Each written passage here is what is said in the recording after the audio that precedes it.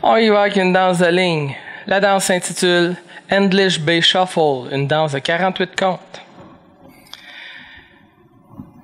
Ça part comme ceci 5, 6, 7, 8, 1, 2, 3, 4, 5, 6, 7, 8, 1 et 2, 3 et 4, 5 et 6, 7 et 8, 1, 2, 3, 4, 5, 6, 7, 8, 1, 2, 3, 4, 5, 6, 7, 8, 1, 2, 3, 4, 5, 6, 7, 8, 1, 2, 3, 4, 5, 6, 7, 8.